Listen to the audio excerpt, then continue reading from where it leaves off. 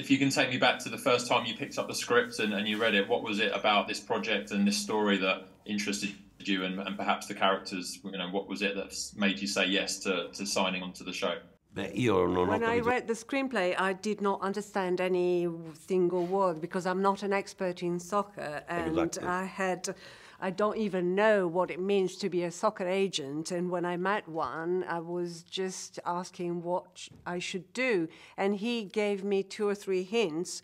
And he said, make him very ambiguous. So on that, I built my character. I haven't seen the show yet. And hopefully that comes through correctly. la mia ambiguità. They have to understand my ambiguity. Did you like it? My answer. Absolutely, yeah. Very ambiguous.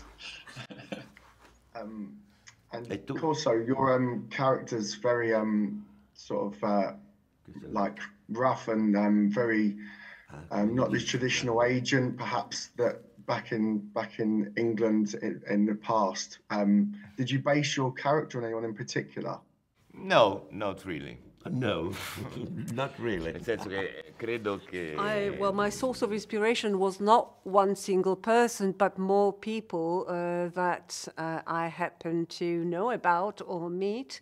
And about the fact that they're ruthless, I think that all of us can become ruthless in circumstances in life. Il mio personaggio che è un po' il male. il My, my character is both good and evil, and of course, where, where there's good, there's also evil, and so uh, that's the way I, I played it in the ambiguity that my soccer agent suggested that I adopted. It was easy for me, even because my character suffers from a degenerative disease, and therefore, when I didn't know what to do, I had my hand shiver, and that was okay. È vero? It's true. He's joking. He's joking. No, ma no. no, no, he- he's joking. he's joking. Elena, dici Giochi qualcosa. E non è giochi. Dunque, io no, non mi sono ispirata a I nessuno. didn't get my source of inspiration for someone in particular, and I agree with the fact that none of us is ruthless unless they are put in a condition to become ruthless. You know, uh, she's uh, she's always in dire straits. She is having a hard time.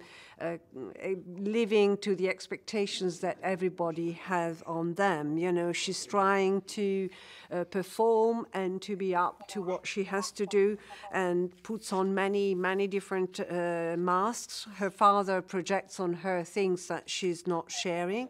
And she's always looking to be loved by her father, something uh, that is not, uh, she's not receiving, you know, this love that she's longing for.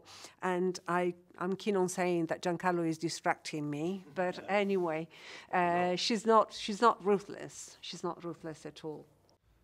Um, so the word uh, ruthless has been used uh, uh, a couple of times. Um, I just wondered if, for, for any of you, when you were familiarizing yourself with the script and also, you know, the world of the transfer market, did the kind of brutality and cutthroat nature of that world sort of shock any of you?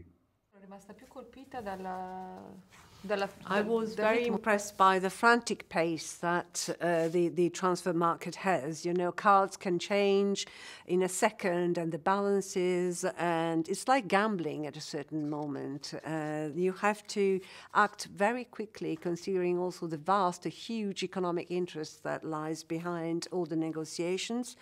And maybe I was naive before, but I didn't expect uh, such a frantic uh, pace uh, after such a long preparation. No, eh, mi, mi ha interessato. I was very impressed by, I was attracted by the parecchi anni che si screenplay because uh, I'm not a particular soccer fan, uh, and I didn't know all the dynamics, but I've heard about stories of sentito, sapevo- so corruptions in uh, soccer player and referees, for sceneggiatura in cui si instance, and I was very si cercava di curious. That's the approach that I had with the script, and I learned a lot. per cui ho And I had farlo mi sono fun in making the, the series, Ah, the show. And how do you come si riesce a become, how to become a diventare evil and uh, how to um, to chiudere to, to thief or to to be uh, to have the best on the others, so to speak. Thank you, guys. Grazie. Finito? Bye bye. Thank you. Thank you very much. Thank you so Thank much. you. Thank you very much.